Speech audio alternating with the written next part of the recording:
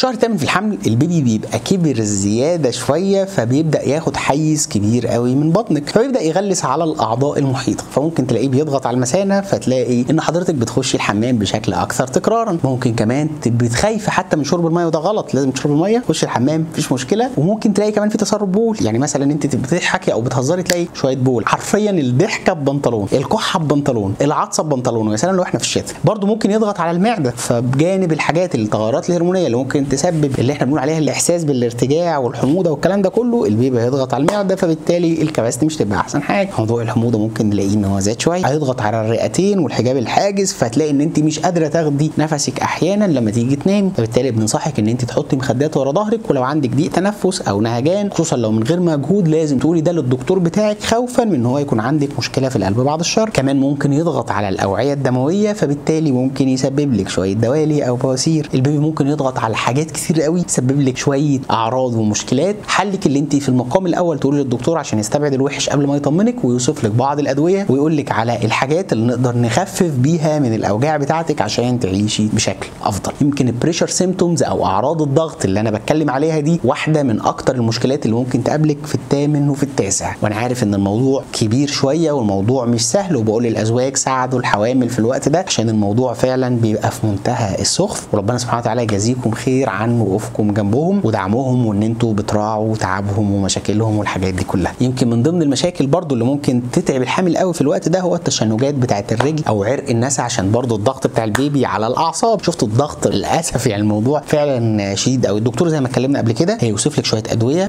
وشويه vitamins و minerals وهيقول لك على شوية حاجات تعمليها وممكن يصل الأمر للعلاج الطبيعي. اتكلمنا على الموضوع ده الفيديو بتاع الشهر السابع فمش عايز أكرره تاني عشان ما يبقاش سخيف. ولا أكرره. اتكلمنا برضو الشهر اللي فات عن الفرق بين الطلق الحقيقي وال Braxton Hicks واتكلمنا عن Braxton Hicks فمش عايز أكرر الكلام تاني. بس اللي عايز أقوله المرة دي إن القلق والتوتر في الحمل هو واحد من أكتر الأعراض اللي ممكن كمان تزيد في الوقت ده. لأنك انت قربتي على الولادة. مهما الأم كانت مرت بتجارب قبل كده إلا إن هي بتيجي كل ما تقرب لحظة الولادة بتصاب برعب وقلق غير طبيعي. هو مش غير طبيعي الحقيقة هو طبيعي إن هو ده يحصل. يعني واحدة داخلة عمليات مش عارفة إيه اللي هيحصل في العمليات. هل هخرج أنا كويسة وال baby كويس ولا لأ؟ هل ممكن يحصل لي مضاعفات من المضاعفات اللي الدكاترة بيتكلموا عليها؟ طيب هل أنا ممكن ال baby أصلا يخش حضانة؟ طب ده ممكن يموت في الحضانة ده أنا أصلا ممكن أموت أنا ممكن أخش رعاية زي قريبتي مش عارف اللي حصل فيها إيه. طب الجرح هيبقى إيه؟ هيبقى كويس ولا لأ؟ طب جوزي طب أنا هتعامل إزاي مع ال baby؟ طب أنا قد مسؤولية بيبي كمان أصلا؟ طب العيال التانية هعمل فيهم إيه؟ طب ده أنا مش عارف إيه. طب الشغل طب جوزي مين اللي هيحضر له الحاجة؟ دايلما وحاجات في عقلها يعني طبيعي جدا إنها تبقى قلقانة ومتوتر لأن يعني عارف الواحد لما يبقى عنده مشكلة في الشغل أنت لما يبقى عندك مشكلة في الشغل تبقى شوية متوتر وقلقان و...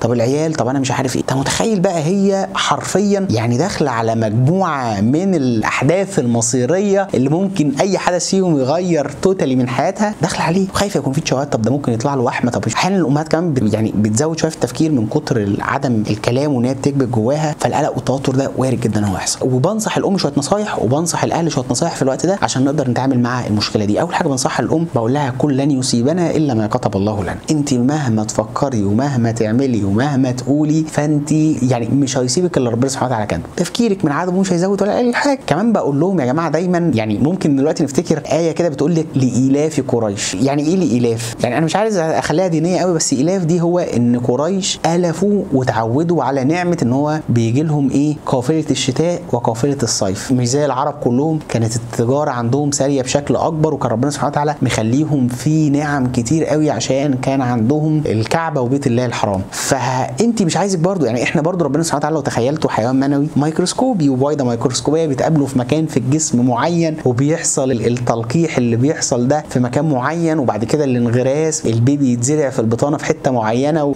حاجة في منتهى البتاع والبيبي بقى الخلايا تتكون والبيبي يكبر وما يحصلش تشوهات وتكون الأجهزة والكلام ده حاجة في منتهى الإعجاز. لحد دلوقتي الكتب مكتوب فيها علامات استفهام كتير قوي أنون أنون أنون أنون. فالحاجات دي كلها مش معروفة والعلم مش واصل لها وهي نعمة إحنا ألفناها ومن كتر إن إحنا ألفناها بقينا البيبي ده جاي لك نعمة من عند ربنا فنعمة ربنا إن شاء الله توصل لك كاملة مكتملة ومفيش أي داعي للقلق. وزي ما أنت عارفة إن هي نعمة من ربنا سيب الأمور كلها على ربنا وخليكي واثقة ومؤمنة تمام الإيمان إن ربنا سبحانه وتعالى مش هيكتب لك إلا الخير. حتى الحاجة لو في ظاهرها شر فهي في الآخر برضه هتكون خير. فأنا مش عايزك تقلقي مش عايزك توتري. عايزك لو في أي حاجة قلقانة منها تكلمي اللي حواليك. يعني أنت لو عندك مشكلة عائلية كلمي جوزك وأهلك. عندك مشكلة في الشغل كلمي زميلاتك في الشغل. عندك مشكلة طبية أو خوف من أي حاجة اسألي الدكتور أو الدكتور بتاعك. إنما كونك إن أنت ساكتة كاتمة عماله وبعدين بقى في ناس بيبقى يعني حاجات عبيطة. يعني مثلا في واحدة كانت فضلت تفكر أشهر طويلة جدا جدا جدا عشان قرت في ال first trimester ultrasound anomaly scan اللي هو ال four D بتاع آخر الشهر الثالث low risk low risk دي يعني الحمد لله الأمور كويس. هي فكره low risk يعني في risk بس low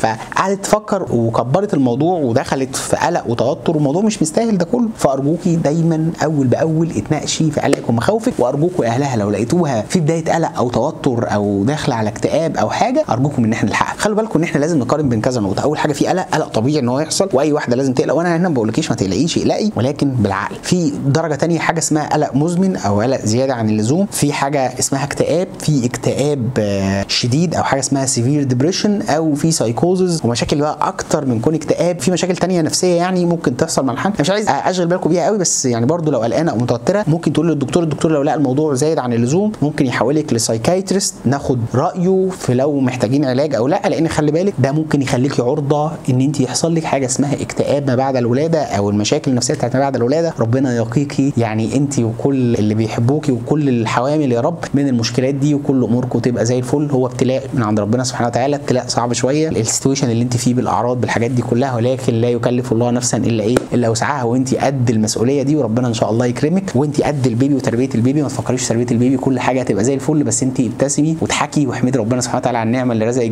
إن شاء الله أمورك كلها تبقى زي الفل. اتكلم بقى على البيبي في الشهر الثامن لو اتكلمنا دلوقتي على الأسبوع ال 32 فنلاقي إن طول البيبي حوالي 42 سم و4 من 10 في حجم الكرفس تقريبا. البيبي الحمد لله رب العالمين يعني كل يوم بيتغير عن يوم اللي قبله بس هو كل يوم بيجهز أكتر عشان خاطر يقابل العالم الخارجي. كل يوم بيبقى أحسن من اليوم اللي قبله. الأسبوع بقى ال 33 فطول البيبي تقريبا حوالي 43 سم و7 من 10 يعني في حجم الأناناس والأناناس مختلف عن كانتالوب. يعني إحنا في تربية غلط الناس افتكرت يعني بتخلط بين الاناناس والكانتالوب واحدة دلوقتي بتفكر. إيه الاناناس اللي طوله 43 سم ده يا اخويا؟ لا لا ده الاناناس مش الكانتالوب عايز أقول لك ان في الوقت ده من الحمل عظام البيبي بتتصلب بتتصلب يوم ورا التاني. ما عدا أو يمكن مش ما عدا الحقيقة يعني هو عظام الجمجمة بتاعت البيبي بيبقى ليها شكل خاص ودي من عظمة ربنا سبحانه وتعالى. يمكن نبقى نتكلم على الولادة بعد كده بشكل أوضح وأكثر. تفصيلا يمكن عظمة البيبي والجمجمة بتاعت البيبي بقى التقويم بتاعها بيبقى بشكل تاني عشان خاطر يلائم الولادة إن شاء الله رب العالمين عشان عظم الجمجمة لما ما يبقاش ناشف قوي يبقى في حتت فراغات بشكل معين كده بتساعد إن هو يحصل حاجة اسمها molding فتلاقي إن عظم الجمجمة بتاع البيبي ممكن لو وصلنا لنقطة معينة في الولادة ممكن يركب فوق بعضه عشان خاطر يصغر شوية حجم الراس عشان تعدي بشكل سلس. ودي من عظمة وجمال خلق ربنا سبحانه وتعالى وإن هو خلق كل شيء بأحسن تقدير. نخش بقى في الأسبوع ال 34 الأسبوع ال 34 بقى البيبي طوله حوالي 45 سم قد الشمام. والشمام بتاعنا غير الشمام بتاع بره.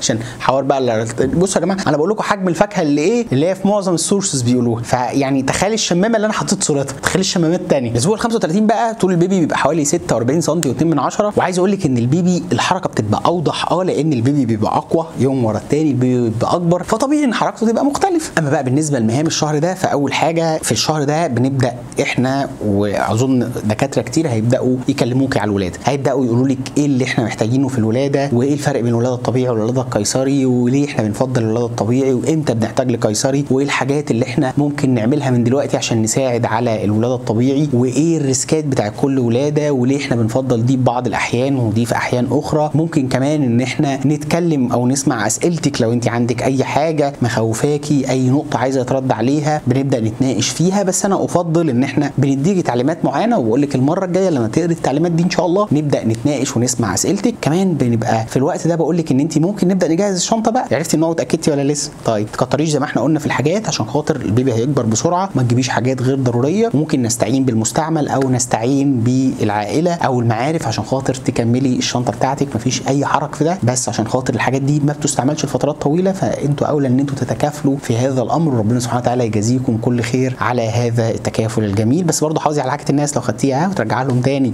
ها ترجعيها. هطلب منك دلوقتي بقى إن انت تطمني على التمارين اللي انت بتعمليها. تبدأي تعملي التمارين بتاعتك أول بأول تطمني إن انت بتاكلي كويس لأن البيبي محتاج أكل. بتلاقي وزن البيبي دلوقتي بيكبر بمعدل أكبر. أنا عارف إن أنت ملاحظة ده. الأكل بتاعك يكون أهم من كمية الأكل نوعية الأكل. يعني ما تلاقيش بتاكلي junk foods وأكل مش صحي كتير على قد ما أنا عايزك تهتمي في كل وجبة من الوجبات بتاعتك بالبروتين والخضار والفاكهة. كمان الكربوهيدرات الصحية والدهون الصحية فارجوك اهتمي بنوعية الأكل أحسن من كمية الأكل. أنا عارف إن أنت ممكن تميلي شوية دلوقتي للسكريات والحلويات ولكن إنه ليس الخيار الأفضل ليكي ولكن اللي عايزه من حضرتك إن أنت تهتمي بيه دلوقتي أكتر من كده هو الأكل الصحي. ابعدي عن السكريات والحلويات عشان خاطر هتكبر وهتكتر وزنك بشكل كبير قوي قوي قوي يصعب استيعابه. بعد كده وفي الآخر بتجيبيها في الطفل تقول الحمل بوظ جسمي. لا مش الحمل بوظ جسمي اكلك هو اللي بوظ جسمي. ممكن من دلوقتي تبدأي تسألي عن طبيب أطفال عشان خاطر تبدأي في ناس بيحجزوا بدري قوي قوي قوي قوي يعني أو بلاد معينة بتبقى محتاج إن إحنا نحجز أو نعمل أي إجراء. فانت تأكدي حسب البلد اللي انت فيها. كمان محتاج أقول لحضرتك إن إحنا محتاجينك تتناقشي مع الدكتور بتاعك في إمكانية إن انت تعملي تمارين حمل من عدمه. وإن كنت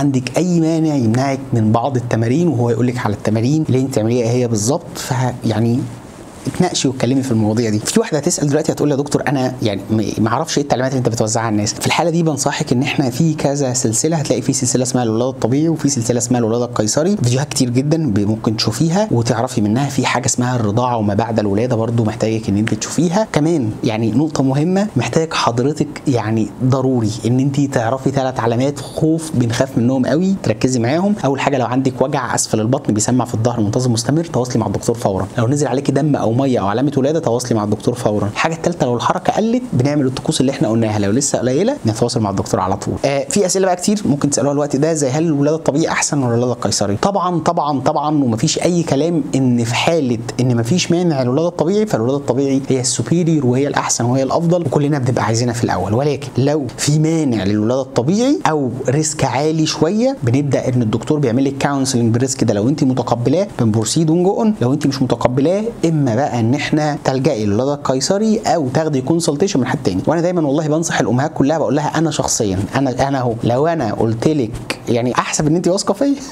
يعني أي حد يعني. أنا بقول لهم لو أنا قلت لك أنا شخصيا أنا بنصحها والله بقول لها يعني لو أنا قلت لك إن انت تولدي قيصري أو أنا شايف إن انت تولدي قيصري ما تسمعيش كلامي وروحي خدي رأي حد تاني عشان برضو نحافظ على الثقة بيننا وبين لأن الشيطان خلي بالك وحش يعني الشيطان بعد ما انت تولدي هو في percentage من الناس بيولدوا طبيعي دول هيبقوا مبسوطين مفيش أي مشاكل خلاص الحمد لله الشيطان إيه يعني مش هيوسوس لهم قوي في النقطة دي. الناس تانية بقى الشيطان هيوسوس لهم يقول لك ده أنا كان ممكن يكون كان ليا فرصة أنا ممكن يكون الدكتور ضحك عليا. لها لا عشان ننهي هذا الأمر روحي خدي consultation وخدي رأي دكتور والتاني والتالت. ولو حد فيهم قال لك غير الكلام اللي أنا بقوله ده و... وأنت مقتنعة بيه proceed معاه. أنا ما عنديش مشكلة في ده. فيعني إحنا لازم عشان خاطر برضو إحنا ال- الولادة قايمة أكتر على فكرة الثقة. فلو في ثقة متبادلة إحنا إن شاء الله هتلاقي الأمور ماشية بشكل سلس والدكتور مش متحرج من أي رأي أو من أي قرار. حلو؟ لو إحنا حاسين إن في ثقة قليلة شوية. أنا بفضل أصلا أو لا والله يعني ما تولديش معانا شخصيا أصلا. يعني ت- شوفي حد تاني تولدي معاه لأن إن ما فيش ثقة أو إن الثقة قليلة شوية ده هيفتح باب لحاجات كتير. طب أنا هو أنا ممكن ما يكونش عندي المشكلة دي وهو قايل لي كده؟ طب يعني ال baby ممكن ما يكونش كان مقعدي ولا حاجة. طب مش عارف إيه طب مش عارف إيه. أزمة كبيرة قوي فهأرجوكي أرجوكي أرجوكي. يعني إيه؟ خدي رأي حد والتاني والتالت واعرفي إن الولاده الطبيعي أحسن في حالاتها والولاده القيصري أحسن في حالاتها. حلو؟ حلو. في بقى بعض المخاوف عند بعض الأمهات من الولاده الطبيعي سواء شق العجان أو الألم والوجع أو أو أو أو والولاده القيصري الجرح هيسيب علامة ولا لأ؟ طب ممكن احس بوجع ولا لأ؟ أو الام في القيصرية والكلام ده كله يعني ده ليها مخاوف ودي ليها مخاوف. لكن هنعمل إحنا عاملين already قبل كده فيديوهات وهنعمل فيديوهات تاني إن شاء الله نتكلم فيه عن مخاوفك من كل ولادة وإزاي نقدر نتعامل معاها وإيه ال optimum أو الحاجة أحسن حاجة زي ما نقول نقدر نتعامل معاها مع الألم ده وإيه الحاجات اللي ممكن نلجأ ليها كزيادة وإيه المشاكل بتاعتها وإيه الريسكات. الكلام ده كله هنتكلم عنه إن شاء الله في الفيديوهات اللي جاية. وشوفوا الفيديوهات القديمة هتلاقي برضه في يعني متكلمين بشكل إن شاء الله يعني زي ما بنقول مرضي عن الحاجات دي عن الحاجات دي. الفحوصات اللي ممكن تتعمل في الشهر ده حسب حالتك طبعا الدكتور ممكن يطلب أكتر من فحص بس أشهرهم بنطلب هيموجلوبين عشان نتأكد إن انت هيموجلوبينك كويس. مفيش أي درجة جديده من درجات الأنيميا بنطلب مخزون حديد. طبعا الهيموجلوبين ده بنبقى مستبعدين من قبله بصورة الدم الكاملة إن انت ما عندكيش نوع من أنواع الأنيميا الثانية لو حسينا إن انت كان عندك أنيميا ممكن نطلب هيموجلوبين عشان نشوف إحنا وصلنا لفين وبنشوف مخزون حديد عشان نعرف مخزوننا كام. وبنعمل تحليل بول عشان نستبعد التهابات المسالك البولية اللي بنخاف عليها ونستبعد بعد الشر الالبيومين أو البروتين أو الزلال اللي بيقولوا عليه في البول.